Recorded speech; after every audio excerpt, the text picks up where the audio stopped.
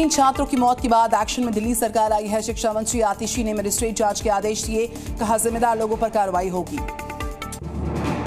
राजेंद्र नगर हादसे पर सियासत काफ़ी तेज। भारतीय जनता पार्टी ने छात्रों की मौत के लिए दिल्ली सरकार को जिम्मेदार ठहरा दिया है।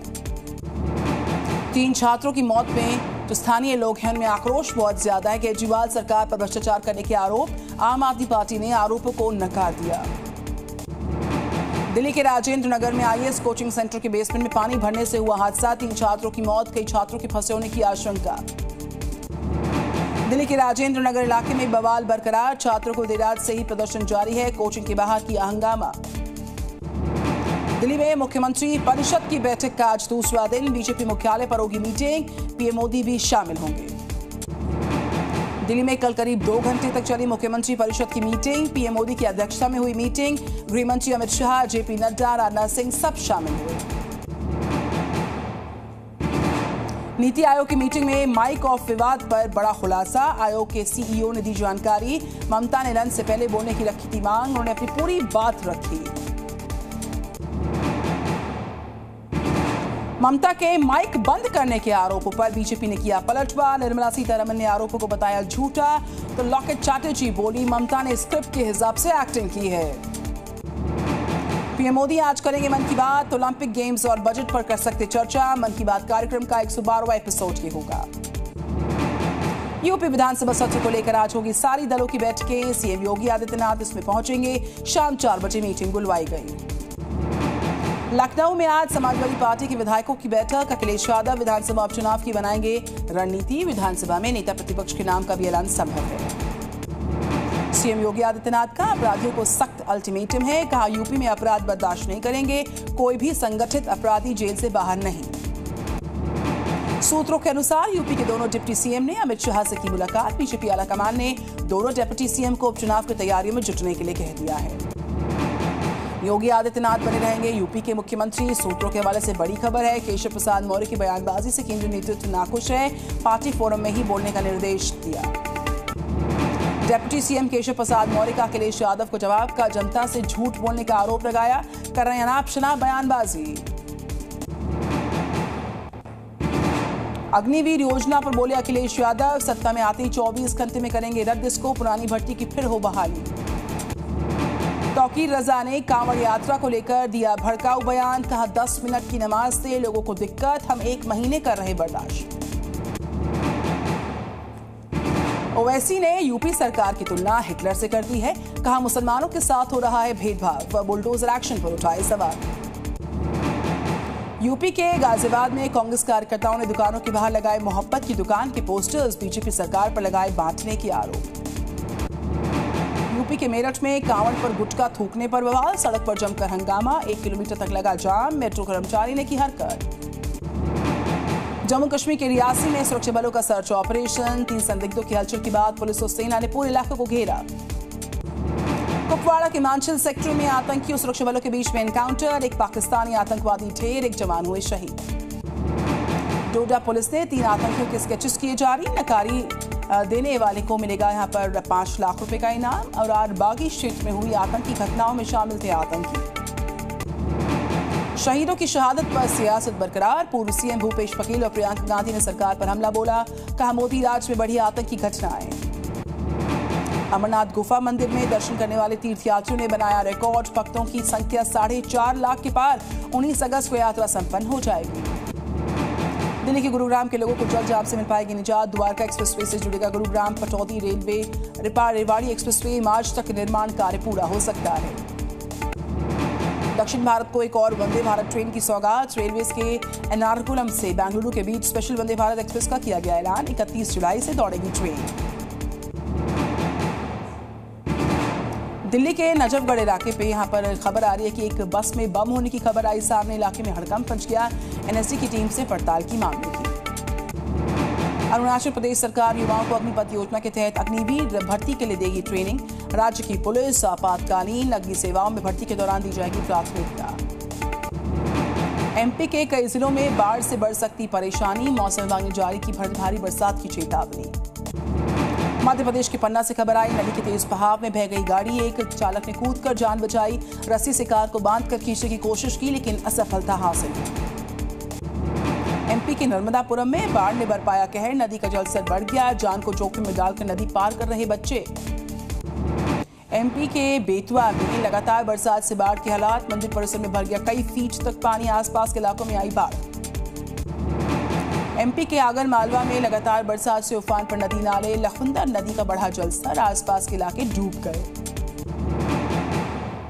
तो मध्य प्रदेश के कई जिलों में तेज बरसात के बाद भोपाल में बादल बरसे जमकर सड़कों पर जलजमाव के हालात हैं। गाड़ियों की रफ्तार पर रोक लग गया है। गुजरात के कई जिलों में बरसात से बरपाया कहर, बीते तीन दिन से बरसात हो रही है। जिलों में बाढ़ के हालात हो गए हैं। हिमाचल के शिमला में तेज हवा के साथ ज़बरदस्त बरसात, लोगों को गर्मी से मिल पाई निजात। उत्तराखंड के ऋषिकेश में पहाड़ी इलाकों में लगातार बरसात से हाल बेहाल, भारी बरसात की वजह से गंगा नदी का जलस्तर बढ़ गया, आसपास के इलाकों में बाढ़ का खतरा। महाराष्ट्र के कोल्हापुर में बाढ़ से बिगड़े हालात, होटल, रेस्टोरेंट में भरा पानी पेणु पुणे और बेंगलुरु हाईवे के पास सर्विस रोड बाढ़ में समाई। गुरुग्राम में भी लगातार बरसात से हाल बेहाल, सड़कों पर भरा कई फीट तक पानी, लोगों को आने जाने में दिक्कत। उत्तराखंड के टिहरी में लैंडस्लाइड मलबे में दबने से माँ और बेटी की मौत, शव बरामद हुआ, मलबा हटाने का काम जारी। गंगोत्री धाम से खबर है, जहाँ पर भारी बरसात के कारण अचानक से बागीरथी का जो जलस्तर है वो बढ़ चुका है। गंगोत्री धाम में स्नान घाट जलमग्न हुआ, आश्रम और होटल्स पर खतरा है। राजस्थान के भीलवाड़ा में प्रशासन की खुल गई पोल नदी में आया उफान। जान जोखिम में डालकर नदी को पार कर रहे हैं लोग। यूपी के जालौन में आकाशीय बिजली का कहर बरपा। दो की मौत हुई, दो लोग घायल, मृतकों के परिजनों को चार लाख रुपए की आर्थिक सहायता देने का ऐलान हुआ। कल से साठ रुपए प्रति किलो मिलेगा टमाटर। दिल्ली नोएडा, गुरुग्राम में एनसीसीएफ लगाएगा स्टॉल्स को। यूपी के आगरा में यातायात नियमों का पालन न करने के खिलाफ कार्रवाई। ट्रैफ़िक पुलिस ने एक महीने में साठ हज़ार का चालान काट दिया है।